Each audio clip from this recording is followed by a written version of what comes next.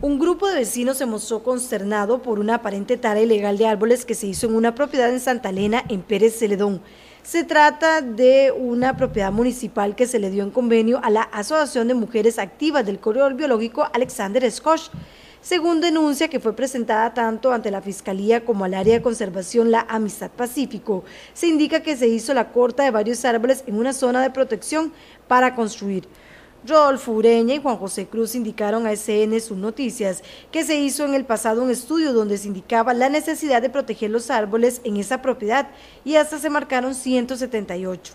Eso es por un lote que, tiene la, que tenía la municipalidad en, ahí en, el lote está en Santa Elena, pero es jurisdicción de la asociación de Quizarrá.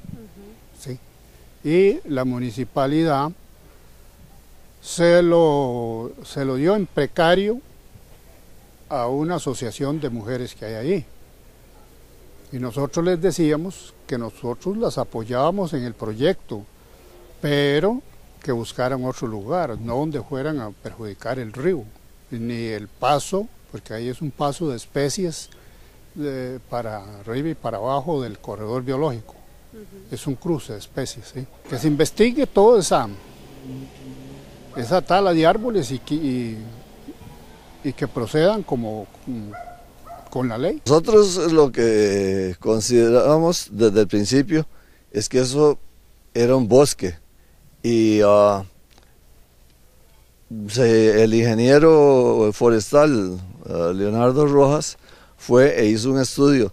Se eh, clasificaron 178 o se encontraron 178 eh, árboles distintos, que fueron todos eh, numerados, se marcaron con pintura roja, habían 178 árboles en esa pequeña área. Y entonces, pues ni tan pequeña, es casi una hectárea. Los vecinos quieren conocer si hubo daño o no en la zona. Lo que queremos, o lo que queríamos es que se dictamine primero si es un bosque, porque si es un bosque, no es que no se pueda construir, sí se puede construir, pero hay que respetar una serie de reglas que según me habían indicado en el MINAE, es un procedimiento un tanto complejo que nunca se ha realizado en la oficina de Pérez Celedón. Pero estábamos esperando simplemente con, a que se terminara el estudio o que las señoras solicitaran para ver qué podían construir o dejar de construir, cuando sorpresivamente eh, nos encontramos con, con una tala de árboles y senderos. Precisan que no están en contra del proyecto que promueve el grupo de mujeres, pero que se tienen que hacer las cosas en regla. Es encomiable que ojalá uh, más mujeres en el país se organizaran y, uh, y uh, no estuvieran eh, dependiendo solo de,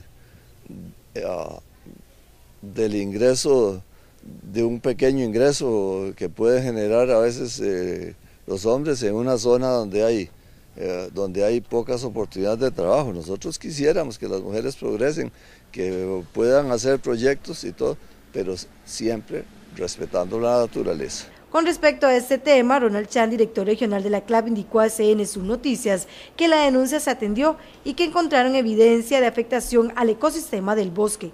Precisó que están en la fase de recolección de indicios y la etapa de investigación. Además, se tiene dirección funcional del Ministerio Público para presentar el informe correspondiente. Con respecto a esta denuncia, Janet Mora, presidenta de Amacobas, precisó que por el momento no se referirán al asunto hasta conocer de lleno la denuncia como tal.